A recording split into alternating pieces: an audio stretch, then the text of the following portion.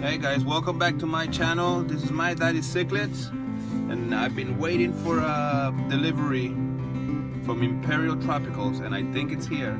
Let's go check it out. It's here guys, let's go check it out. Ready for the unboxing? Oh no guys, it's a false alarm. That was not the fish. I totally forgot we bought something from Groupon. We bought some luggage from Groupon. And it's the luggage that came. Oh, bummer. I'm still gonna have to wait. Mailman, where are you?